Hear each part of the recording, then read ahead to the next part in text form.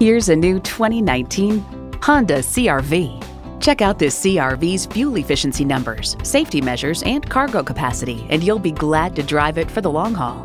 Features include streaming audio, power heated mirrors, dual zone climate control, digital instrument gauges, doors and push button start proximity key, front heated bucket seats, continuously variable automatic transmission, power sliding and tilting sunroof, gas pressurized shocks, and intercooled turbo inline four-cylinder engine.